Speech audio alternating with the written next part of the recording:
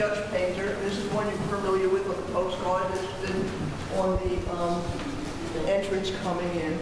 Uh, Dutch painter.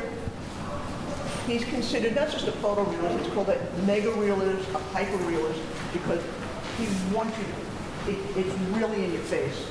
Unlike most of the others, you, you, you, you look at them and you, thought, he's forcing you to, to look at this. And he wants you not only to look at ordinary food, he wants you to love ordinary food. Yeah. You take a look at this orange slice, you can almost feel the various veins. And that's what he wants, he wants you, he wants you just not consume, he wants you to appreciate what it is you're eating.